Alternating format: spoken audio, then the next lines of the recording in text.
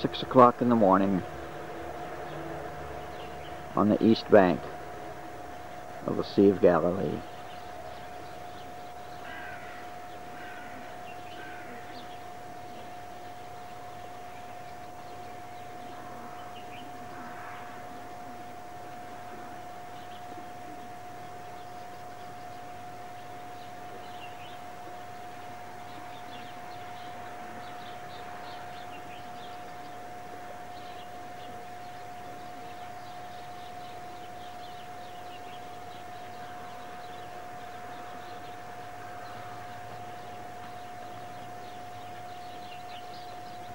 Golan Heights in the background.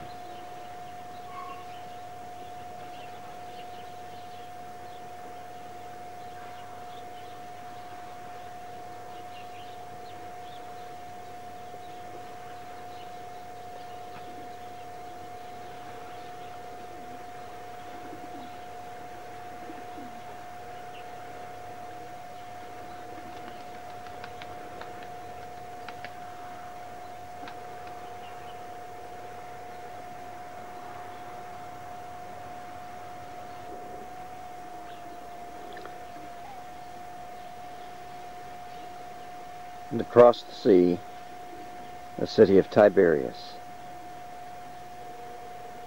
is just awakening for the new day.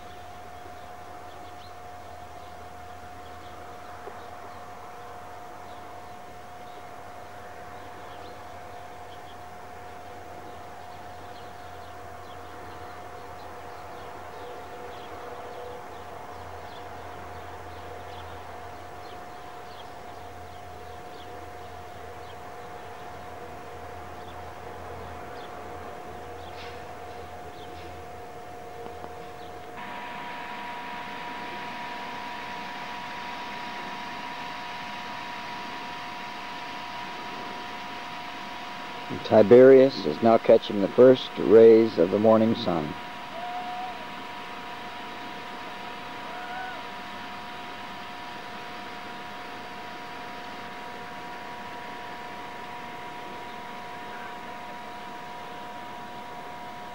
And to the north along the Sea of Galilee,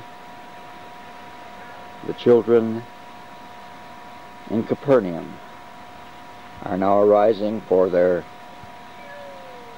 day of activity and education.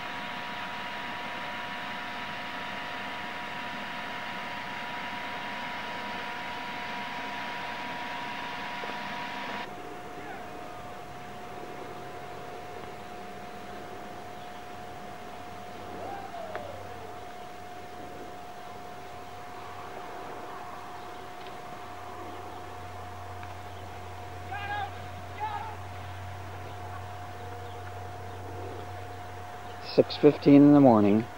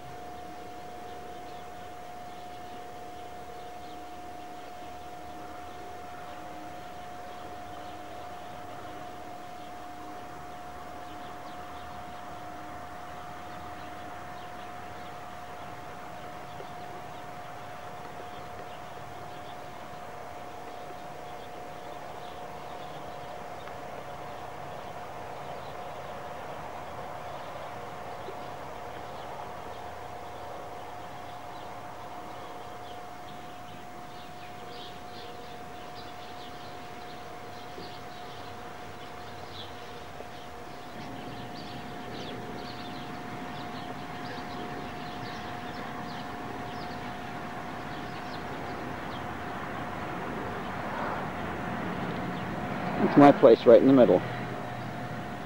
And we're going to breakfast down this way now. And every morning we're on the bus for lectures and uh, sight viewing at 8 o'clock.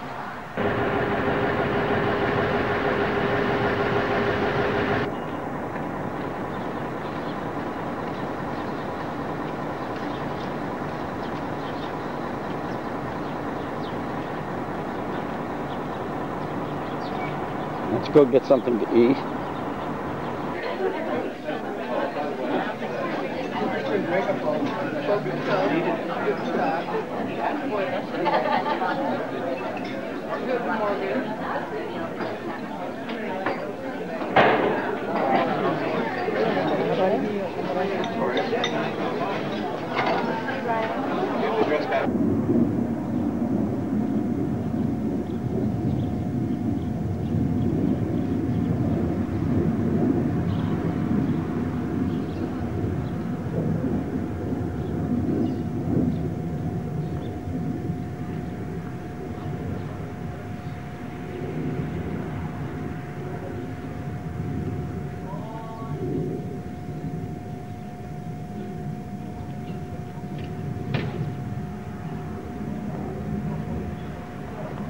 Story of Jesus and the healing of the demoniac.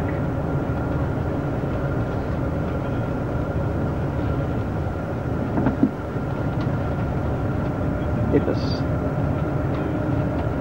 Side. Here on the eastern side of the shore, the hills of Bashan, or the Golan Heights, seemingly end abruptly at the shoreline. They kind of plunge down into the Sea of Galilee. Can see the type of topography that would have existed during the time of Jesus. Uh, very conducive to running a swine of herd down a cliff and having them fall into the sea, and drown in the sea.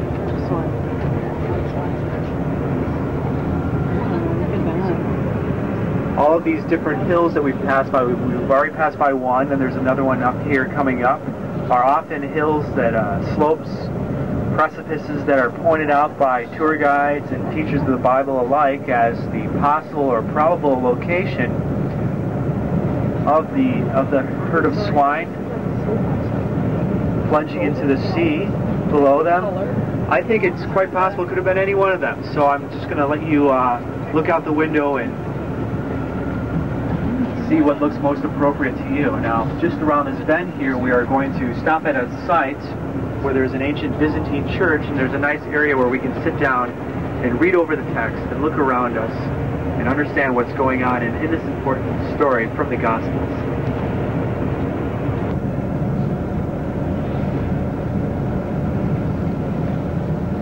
Apparently the northern end of the Sea of Galilee.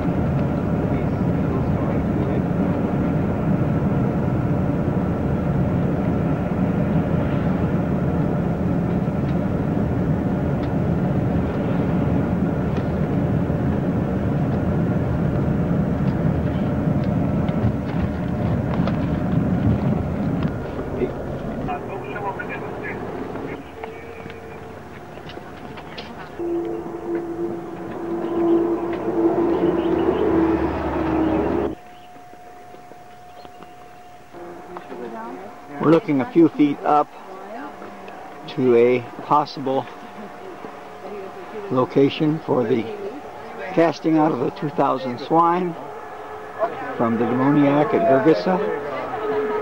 And this site has been identified as a probable location because of the tombs that are here in this location, referenced in the Book of Mark.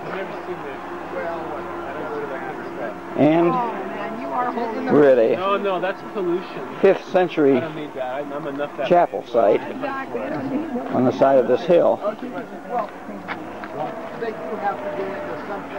So this location was a 5th century description. Why didn't they just go into the air and evaporate?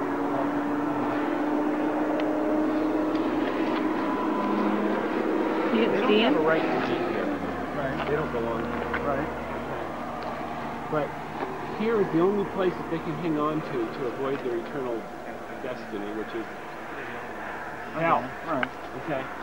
So it'd be like it'd be like this. It'd be like you pull the plug on the drain and all the water's going to drain out, and those little particles are going to cling to the side. That's what a demon's trying to do, so he doesn't get stuck down to where he belongs. And so he'll do. I don't know why I said he. She. It. It. It'll do anything it can not to extend its time here. Because its doom is already foretold in the lake of fire. And so it's like uh, putting a cat in the bag. You know, it's gonna it's gonna fight to the very end to do whatever it's got to do. And so they gravitate to anything that will give it power, or give it a reason, a reason to do it.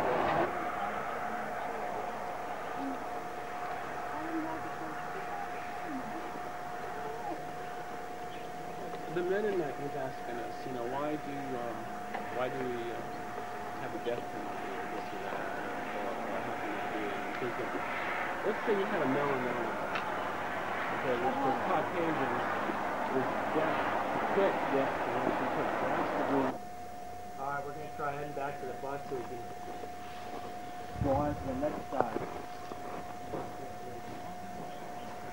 Hey, Greg, see you back at the bus. All right, I think you can just. Uh, never mind. 5th century church at the site of the casting out of the swine. I'm just following the steps of Jesus. Man, you're gonna be there like uh, who was it? Um, that is really cool. I mean, what? Yeah. So there's some kind of like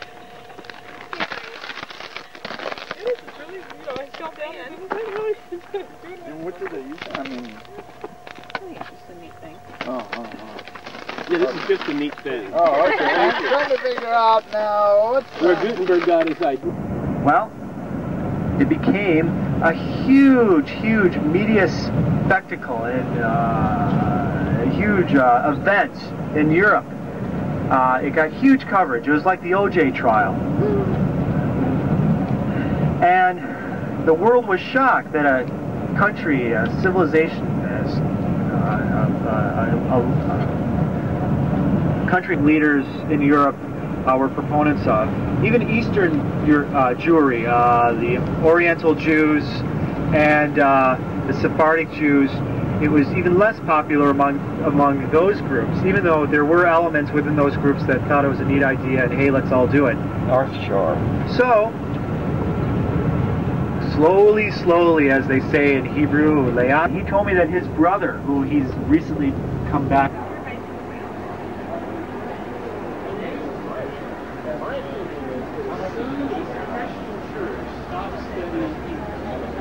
And they, they, they missed out on the significance of Jesus.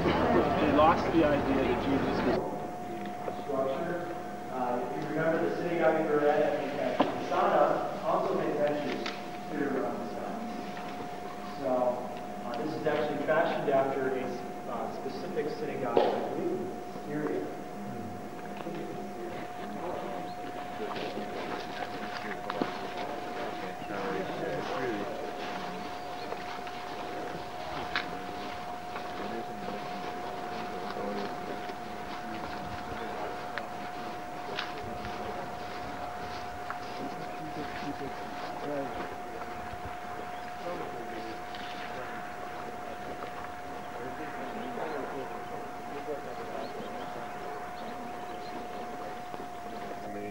It says you shall write the word of the Lord and Oh, on your doorpost to remind you, like the same reason they put those blocks on Right. the heads. Right. I think that's in the same thing. The word of the Lord is to be written on the doorpost.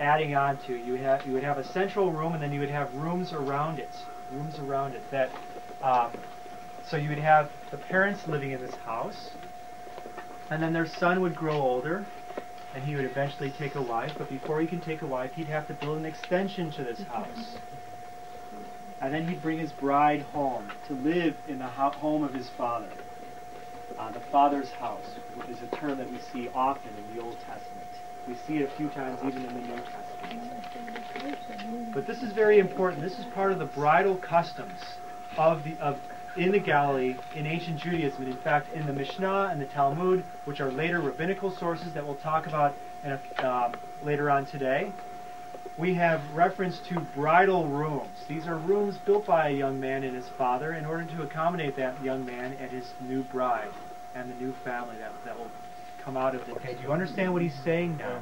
He's speaking to a people who, who clearly hear what he's saying, know what sort of imagery he's using. He's using the imagery of a, of a young groom bringing his bride home after preparing a place for them. So this, this helps us understand, knowing the type of architecture that was used by the ancient Jews here in, here in Galilee, uh, understanding Judaica, ancient Judaica, really helps us understand the words of Jesus in the Gospels.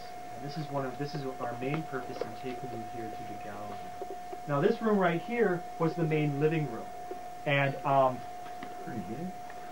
It's fairly big. Usually there would be benches along three sides.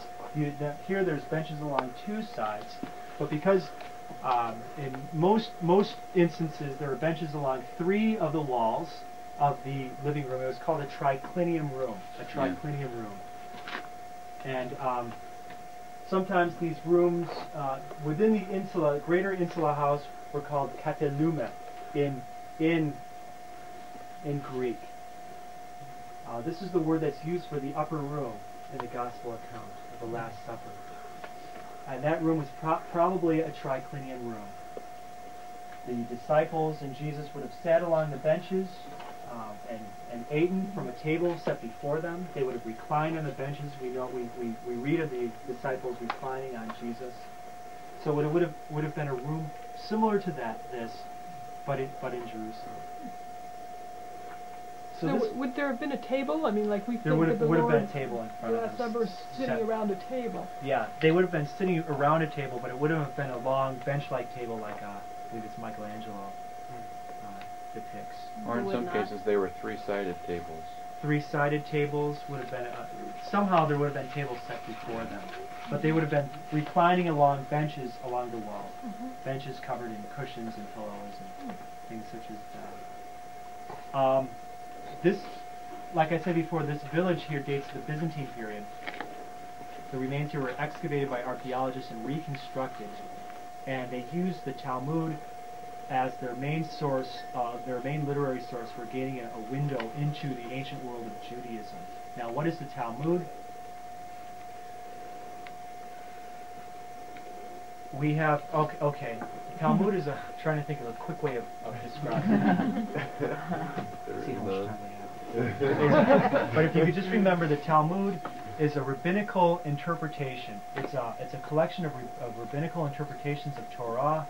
Um, it's actually interpretations of a ba- largely based on an earlier rabbinical source called the Mishnah. Now, the Mishnah was written in Hebrew in the third century, and it was written down because Hebrew was beginning to die off as a living language. And so a lot of the oral traditions that were surviving through the rabbis were in jeopardy. They were in danger. So the rabbis got together in the third century and they began writing down the oral tradition, recording them on, on uh, paper for posterity's sake. And this is what we know as the Mishnah. These are largely rabbinical sayings dealing with Torah. Now, in the 7th century, we had a second collection of writings placed, uh, put down called the Talmud. This was not in Hebrew, it was in Aramaic, and these were uh, rabbinical teachings based on the Mish- Mishnah, based on the Torah.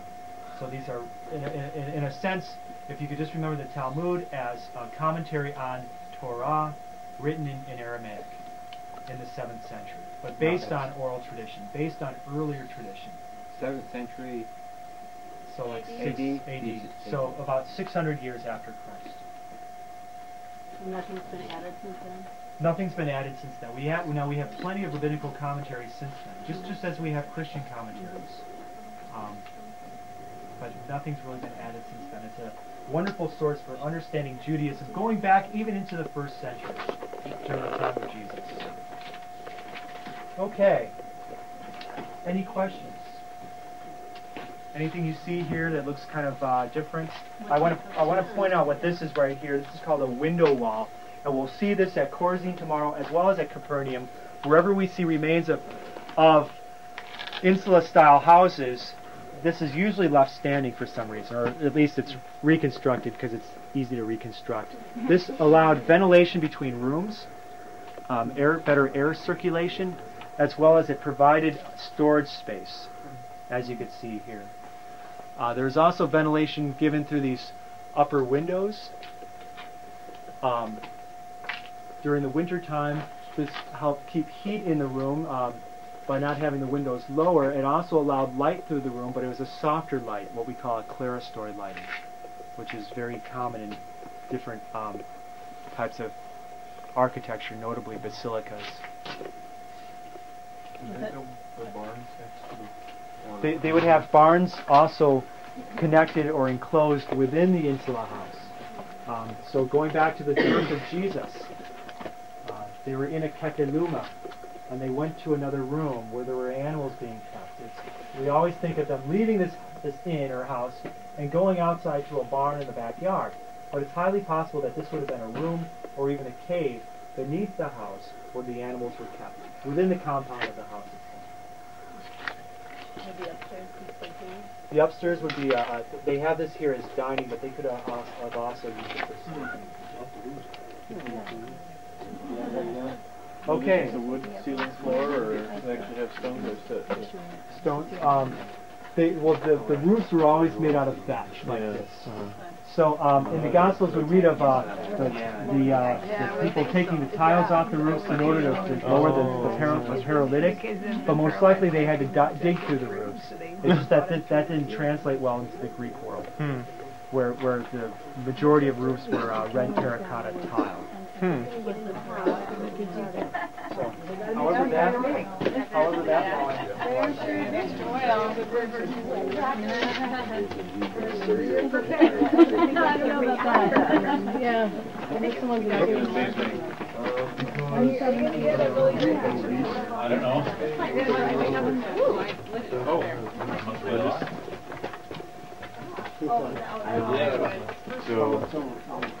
so every year at most of the holidays, yeah, or they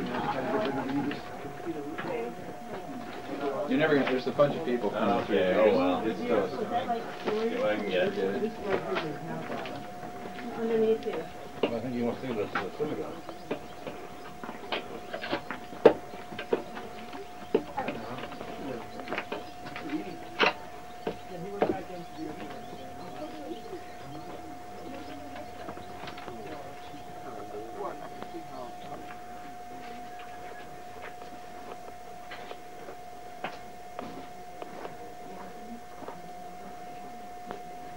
the uh, capitals are decorated uh, much more nicely. They, they look like a campus maze. If you, if you can visualize that. We call them Corinthian capitals.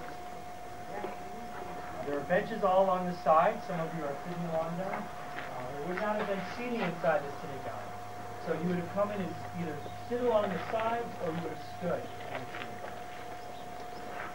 So we are going to see a, a, an even better reconstruction of a synagogue tomorrow at Khorazin, and we'll, we'll go over uh, synagogue worship tomorrow when we get there and read through some of the relevant biblical passages there that uh, teach us a little bit and help us understand the gospel within, within the context of Judaism.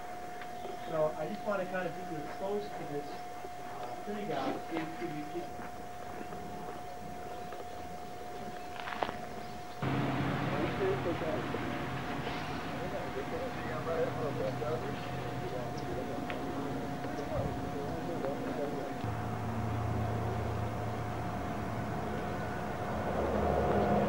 Golan Heights, as I've taught you, the land of Bashan, this huge basalt plateau here was, was part of Syria, was controlled by Syria.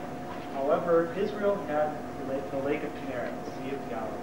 And so all along the shoreline, you would have had Israeli settlements, woods, woods villages. Them, you would have had Golan Heights. So just looking at this map here, this uh, representation, you can see the logistical problems, the military advantage that the Syrians had in controlling this important area. This important area also controls a lot of the water sources that feed into the Upper Jordan. Feed into the Upper Jordan. So in 1967, when Israel was able to conquer this portion, it became part of Israel. Became part of Israel. Now, in recent times, the Syrians have started ma making uh, motions that if the Israelis give up the Golan Heights, they can have peace with Syria. This is a pretty steep price because this has been part of Israel for over 30 years. We have people who have only known lives here in the Golan Heights. We have people who've invent, invested their lives in this land. It's not easy to simply ask them to uproot their lives and leave and let the Arabs come back into this portion of what is today Israel. How do we know we can trust them? Among other questions. This is my, uh, this is a steep price that's being asked. That people are being asked to pay. So what do we do? These are all questions that are currently being, or were currently being rolled over. Uh, Assad al-Assad, the, the ruler, the president of Syria, president for was uh, there was talking with the, U.S. government about, and the U.S. government was talking with the Israeli government, and uh, there was a lot of progress being made in these talks, and then then al-Assad died. His son Bashar took took, uh, took office, so it, it's it's a presidency. It's like it's um, well, that'll tell you what sort of presidency exists in Syria. The uh, the talks continue for a little bit, but not as, as not as much. And with the cur current political crisis, I don't see. I, I, I, see the talks as being pretty dead right now. I mean, for the time being, there are bigger problems to deal with uh, the rest of the rest of the country. So I think it dropped for many years now. yeah. The Golan subject. So the bumper stickers, there's bumper stickers right out there for you to take. They're quite popular in Israel. You might have seen, noticed them in cars. Uh, they're in, I believe, red, white, and blue. Is that the colors? The colors that are known to many of us. Uh, it's, it says in Hebrew, Ha'am, Im, HaGolan. And it's a play on words, Am and Im. Am means people, Im means with. Uh, they're both spelled with the same two letters. So Ha'am, Im, HaGolan, and it means the people with the Golan. You can't just trade land for peace because the people are with the land. The land and the people are one. So when you're trading this piece of land, you're trading our lives. You have this guy as well. Oh, I've never seen this one. Yeah. Hagolan uh, is with us. Shalom is ours. Hey, right on, cool. And then here's, I'm sorry, it's, it's, there's white in the background red, blue, white, with Golan. Golan is in black here. Ha'am im agolan.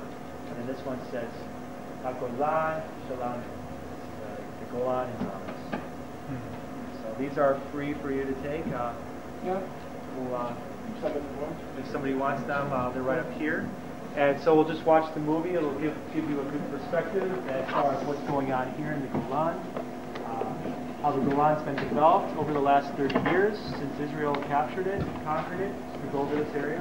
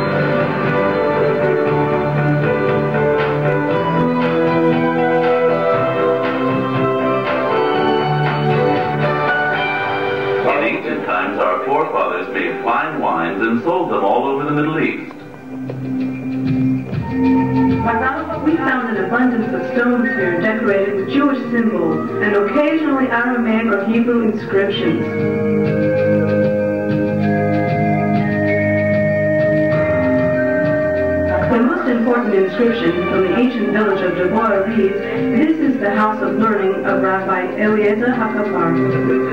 Rabbi Elazar HaKapar established the synagogues and schools of the Babylonian exiles in Eretz Yisrael. The synagogue at Katzrin is the most impressive synagogue discovered on the Golan. The oldest synagogue discovered in Israel is also here, dating back to temple times, the synagogue at Gamla.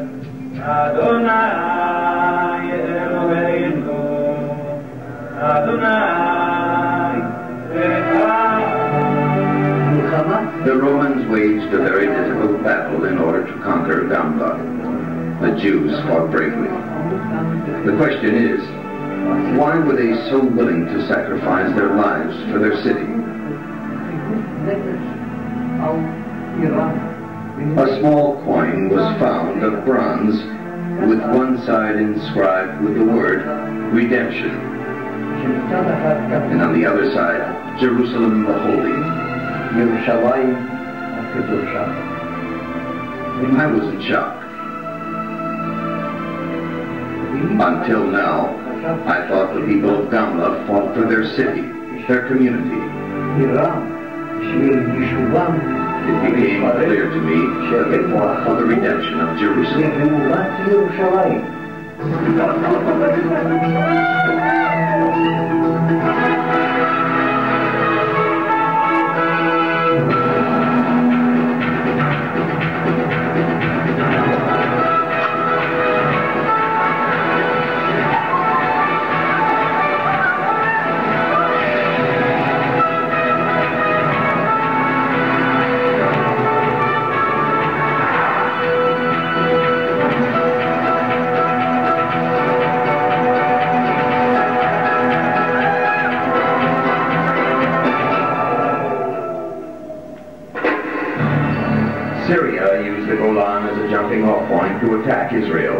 The Syrians tried twice and twice were defeated. Now they want the area back, including the last pebble, the last drop of water. To return the Syrians to the Golan, to the banks of the Jordan River and the Sea of Galilee is a gamble and a threat to Israel's existence. The Syrians was right over our heads, and they bombarded us constantly. They bombed the fields, the tractors, the children's house, the dining room. In the Six-Day War, the kibbutz was really demolished. Went up to the Golan after the war, it was the shock of our lives. We were standing there at Kiruvet Tofik, just over Kibbutz Tel Katzir. I sat down and cried. How could I have raised my children here for the past 18 years with the Syrians perched above, viewing our every move? I sit up here, and without the aid of binoculars, I can see the cactus plants in my garden. Standing here on a Syrian bunker and knowing who sat here and what they did to the settlements below, I say to myself, what you see from here, you'll never see anywhere else. It's for our eyes only, even in peacetime, for our eyes only.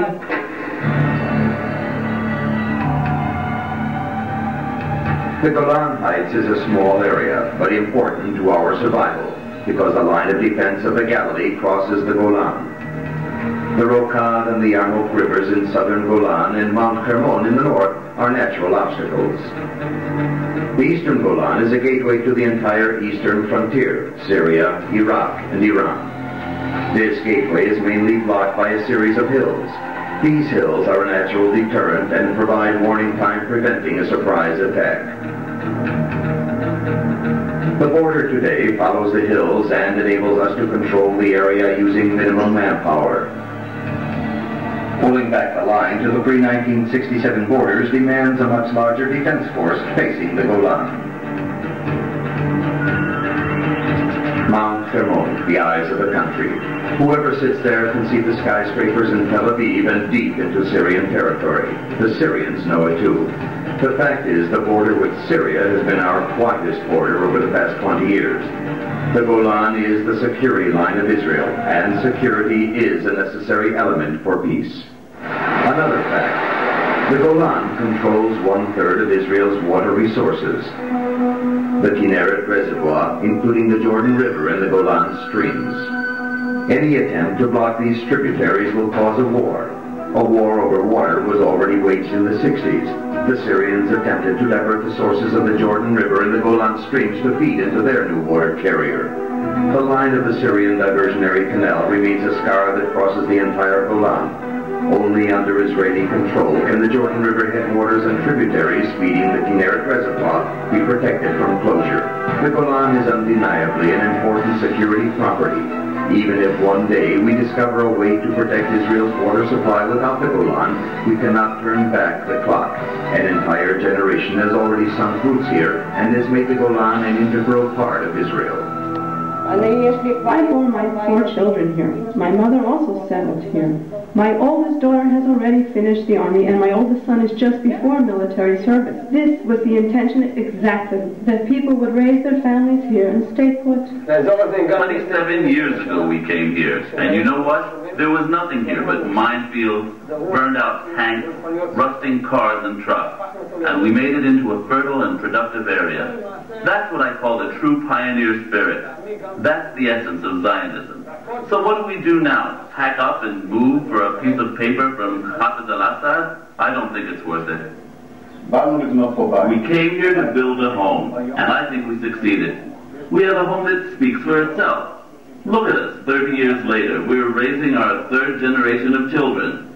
And you know what I think? I think if you can take away our rights to live in this place, for whatever reason at all, then you might as well ask if any Jew has the right to live anywhere in Eretz Israel. I thought to myself that after so many centuries, the Golan was waiting for our return, waiting for us to build and create all that we have. I felt that it knew it belonged to the Jewish people, and that the Jewish people belong to it. Peace, they say, peace, but they've changed it all around. Our personal rights, our civil rights, things we really believed in. Friendship, mutual responsibility. It's all been sold for one word, peace. I think that if we really want peace, we have to hold on to the land. If you give up the land, you're not ensuring peace, you're ensuring war. The only way to peace is to maintain your values. You must say, this is my land, these are my values. Peace starts here.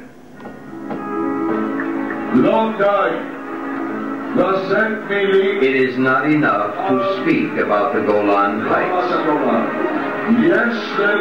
Words must be put into action through building, development, and employment. It is inconceivable that we would withdraw from the Golan Heights even for peace. Anyone who would consider leaving the Golan Heights abandons Israel's security.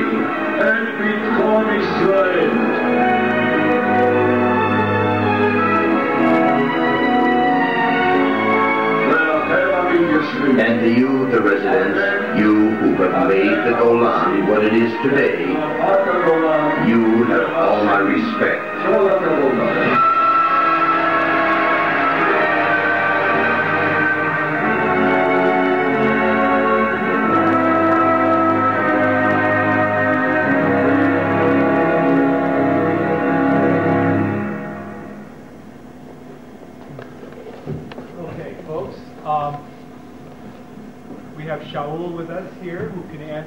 Questions.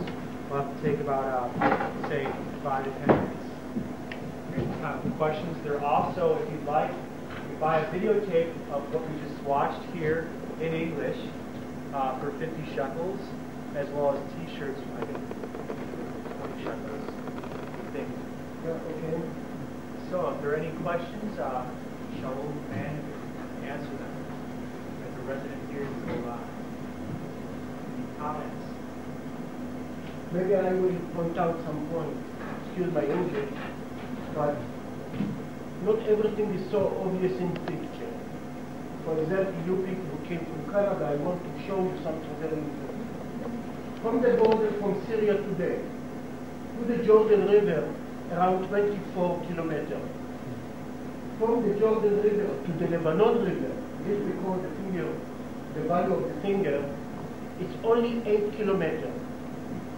Now, what is 8 kilometers? You people know. Uh, the Yom Kippur War, we had two wars on the Golan. The first war, the Six-Day War, we took over the Golan in 24 and 26 hours only.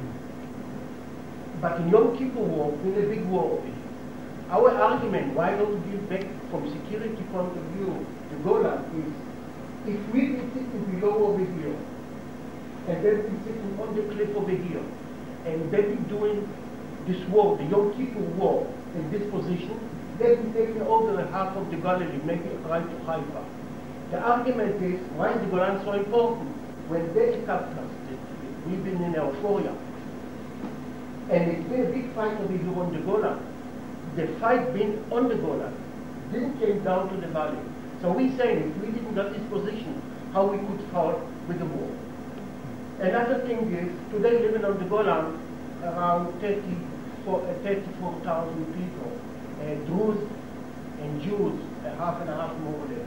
We have some animals, cows and such things on the Golan. And we quite a modern country.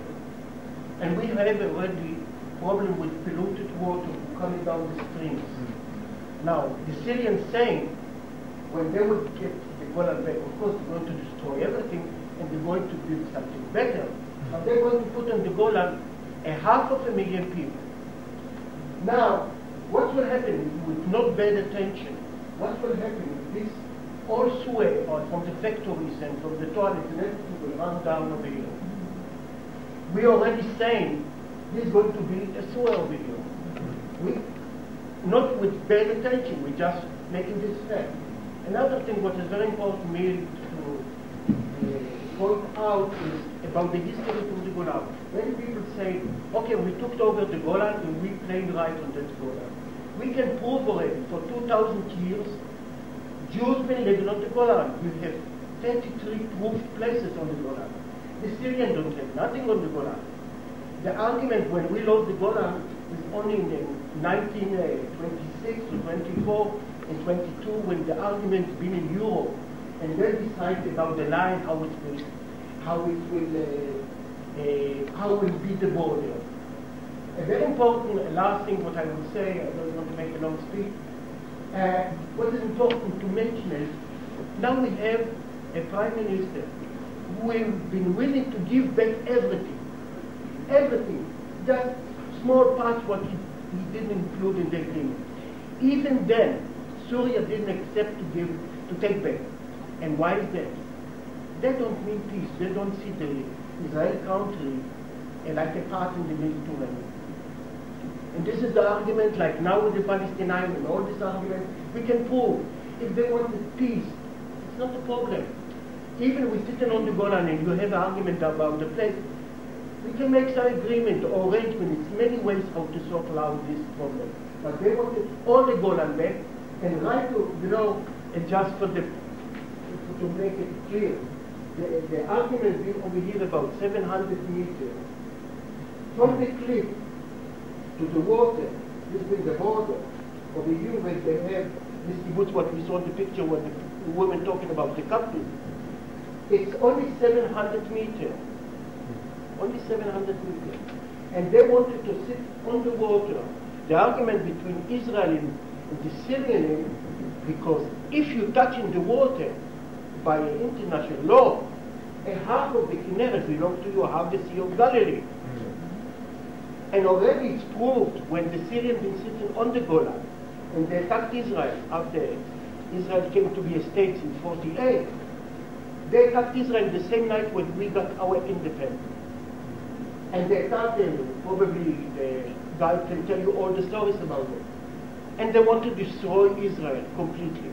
And we, with a small minority of soldiers, we take it over. And now we're sitting by right on the Golan. It's nothing to do if we not have right to sit over there. It's just by a chance we couldn't take it over in 48. That's all, because we didn't have enough power. If somebody want to ask something, so please.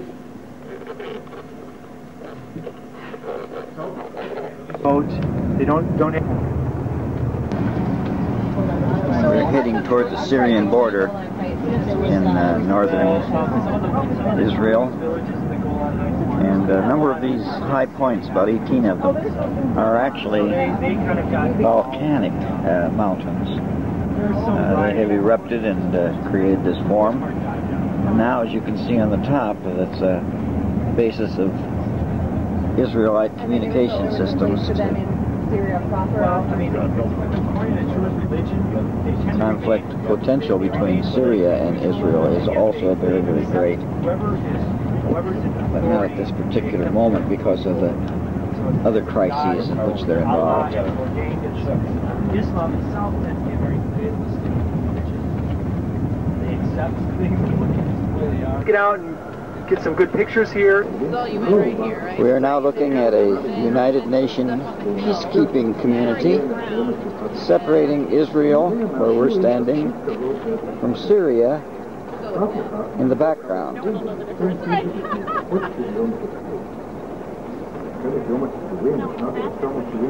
United Nations peacekeeping. And beyond, in the distance, is a Syrian town that, in consequence to conflict, has been abandoned.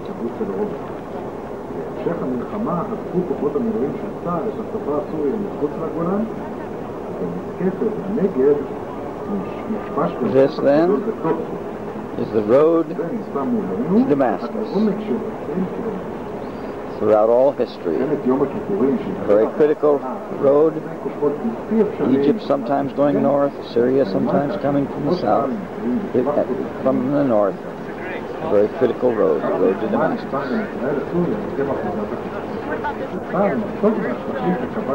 Just a sovereign nation,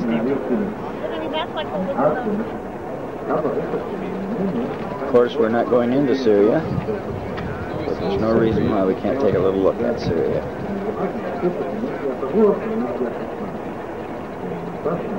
There's some of their power source from the Syrian hills.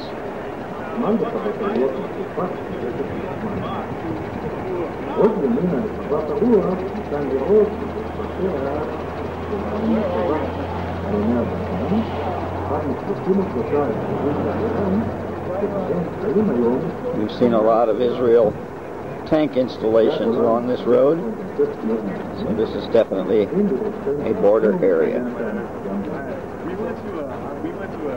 We're going to work our way over the landscape of Syria. We're going to be looking north, the biblical northern extremity of Israel, and we're going to be looking right now at Mount Hermon, believed by most Christian scholars to be the Mount of Jesus' Ascension. So we're going through the fog, zoom in on Mount Hermon, hoping that some of it will be visible.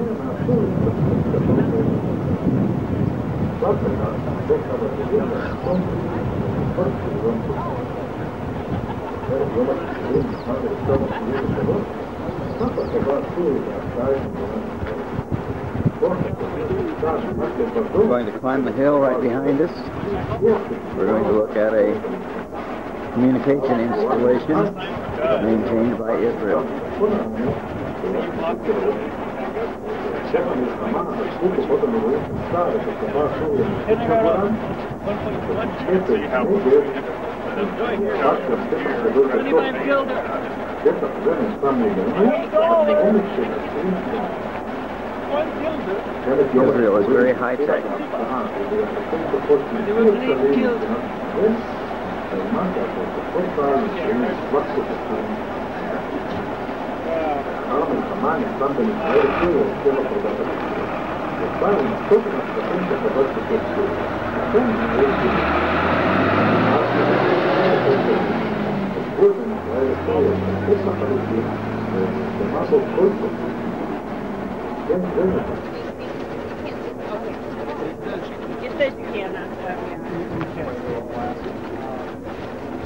Now, what's that called? But it's 30, around 30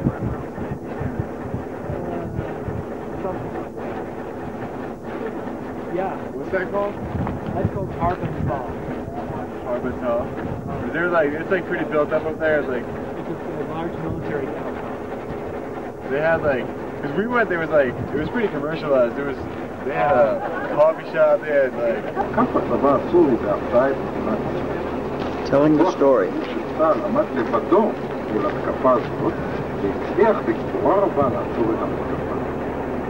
United Nations peacekeeping camp standing between Syria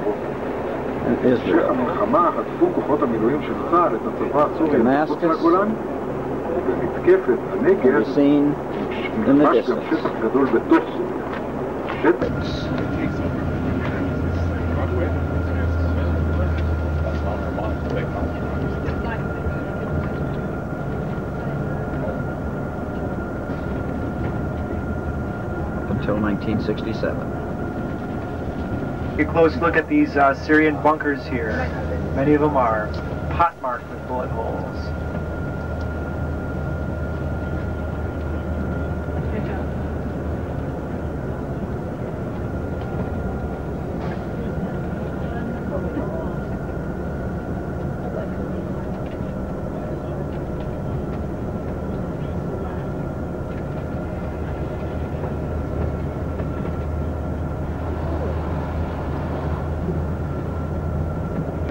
Here, this Bukata. Druze? It's Druze, right? Also Majdal Shams Druze. All right, folks, we're about to drive through a town here. This is the modern Druze town. We all know now what the Druze are. You'll hopefully get to see a lot of them walking along the streets. Uh, the Druze have a messianic belief. Uh, the, town, the name of the town is Fakat. That's the name of the town we're driving through. Now, let me explain to you a little bit about the Druze messianic belief system.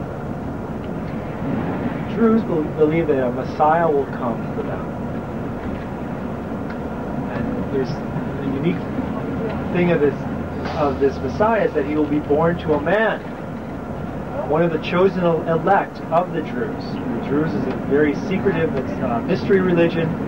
Uh, you have to you have to be born into the Druze religion, and once you're born into it, you have to choose at an early stage in your life whether you want to be prepared to receive the mysteries of your faith.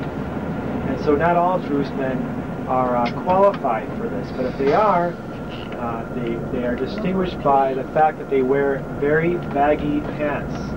So when the Messiah comes and he's born all of a sudden, uh, he can just fall down their pant legs. I don't know. It, it, the, the pants have something to do with with the, uh, the birth of this Messiah. So keep your eyes open. I've already seen one Druze man wearing baggy pants. Actually, right inside Jaffa Gate, when you go inside Jaffa Gate, there's a Druze vendor who usually uh, hangs out there. This is a Druze town at the foot of Mount Hermon. The Druze mystery religion is fascinating. We'll have to look into that a little bit more.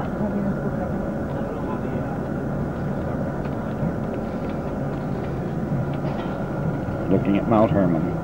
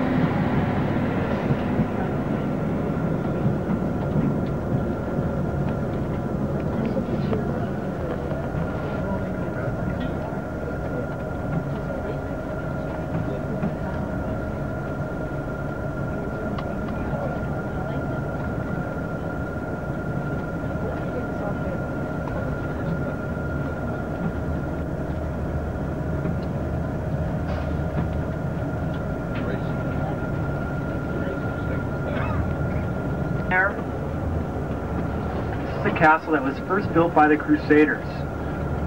It was later it, was later occupied. Actually, during the Crusades, it was captured by the Muslims and has been controlled and occupied them up into the modern time period. Can you see it way off in the distance? Okay. Immediately across the valley, valley from us is a small Druze village. All right, past it, way off in the distance. Can, can you all see? Do you all see the uh, castle there? Yeah. Okay. That that castle is called Nimrod's Castle. The Muslim faithful love Nimrod the hunter that we read of in the book of Genesis. And so, the local folklore here said that Nimrod built that castle. Now, as far as historical accuracy rating, uh, zero. Zero. It was built by Crusaders and then later rebuilt by Muslims. But there's an interesting story behind this. And here, here it goes. During the Crusades, during most of the Crusades, that castle was controlled by the Muslims. In fact, it was controlled by a specific Muslim sect. This Muslim sect revolved around a man that was known by both the Muslims and the Christians as the Old Man of the Mountain. And he was he was uh, hated by both the Muslims and the Christians because his sect um, was a sect of assassins. They were they were holed up here in the mountain. They couldn't be conquered by either the Muslims or the Crusaders. And the followers of this old man of the mountain were so devout for its temple to Pan. This was a hotbed of pagan worship here in this area.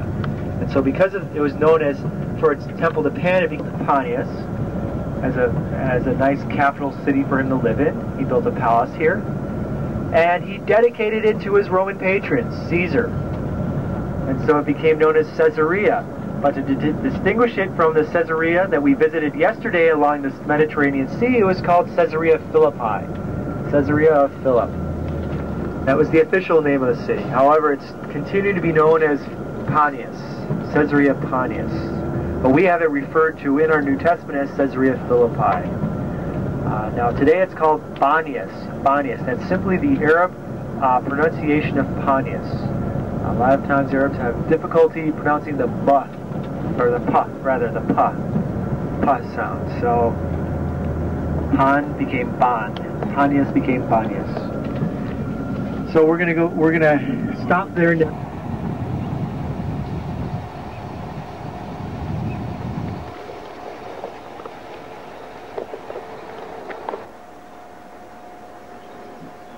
We are now at Caesarea Philippi, just beneath Mount Hermon.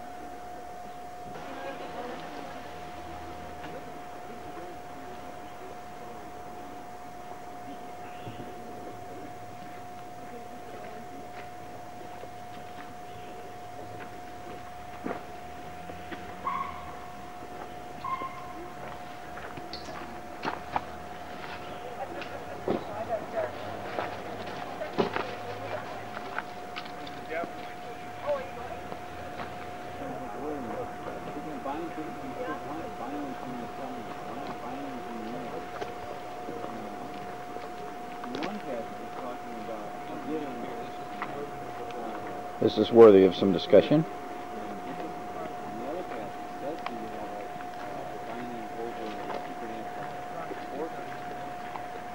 And this statement gives a very interesting backdrop to the question of Jesus and the answer of Peter, Who do you say that I am? in this area of paganism, Caesarea Philippi.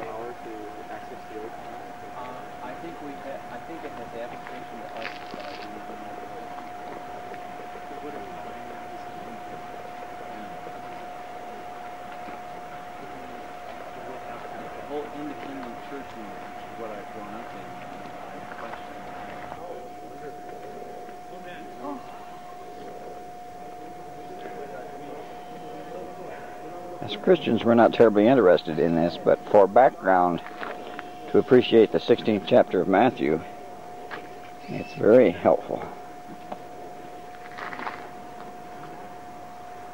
I eat it from? Here, I want to try getting up.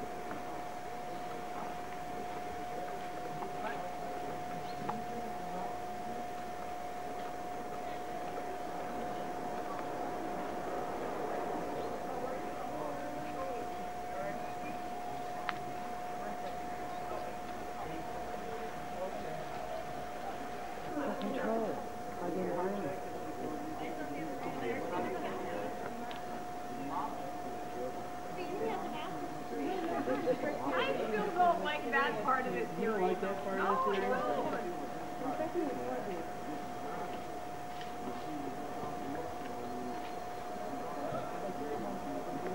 No, no, yeah. You wouldn't, you wouldn't go to February 12th now. You wouldn't go to But, uh,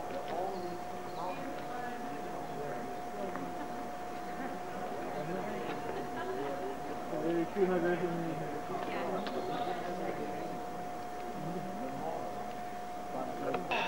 Scott, yeah, crawl up on top of it. We already got a picture.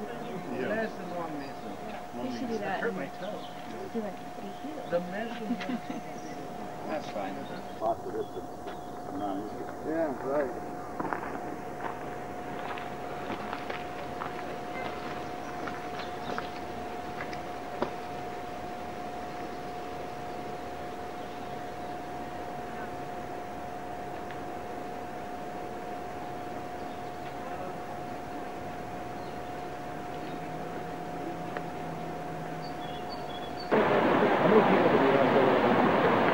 We're now at Dan, the northern extremity of the ancient Israel, as well as the modern Israel, I believe, in the time of Christ. This is Dan, one of the headwaters of the Jordan River. There are others in the area, but this is just a nice relaxing stop.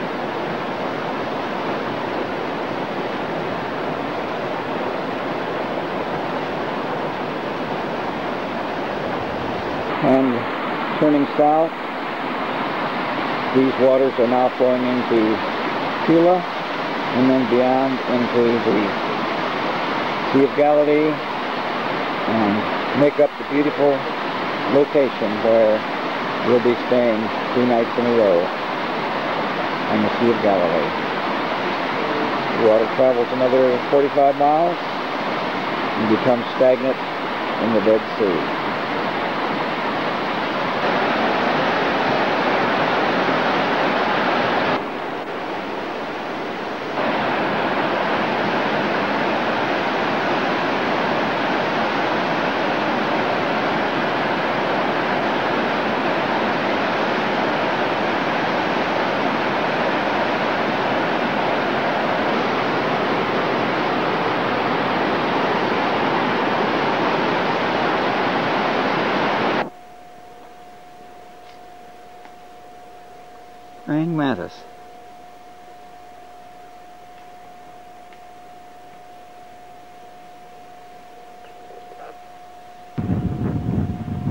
This is a cultic site that we're entering into. We've walked a long way up following the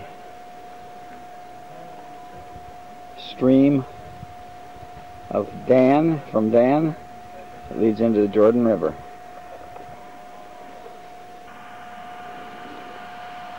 I would like to finish this beautiful day, November 1st, the year 2000, on the Sea of Galilee. Uh, pretty much at the same point that we began the tape and experienced the beautiful sunrise.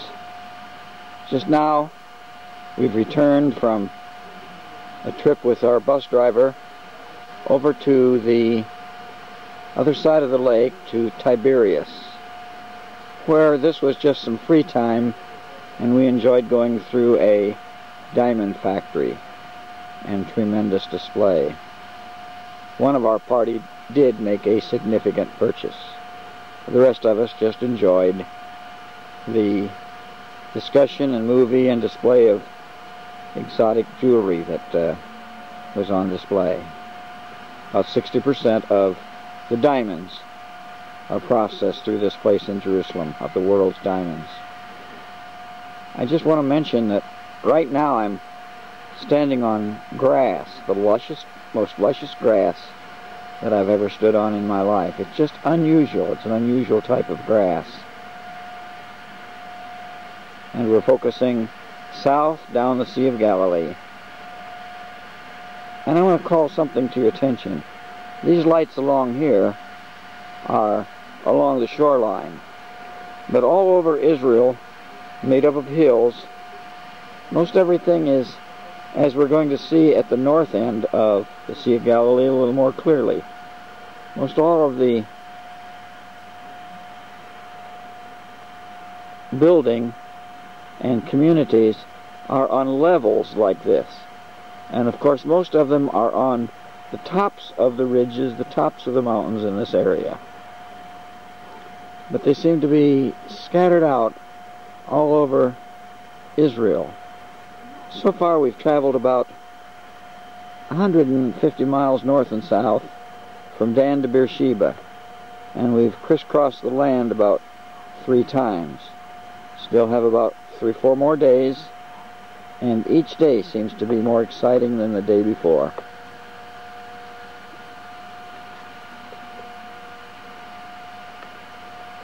I'm going to eat my 7.30 meal at this time. So we'll say good night and interested in finding out what kind of food we have tonight because there's been quite a variety and I cannot honestly say I've enjoyed it. I've enjoyed, I've learned how to eat pita bread and stuff pita bread with all kinds of unknown morsels and I'm getting more accustomed to it, but for a while I had a little bit of difficulty. So, good night.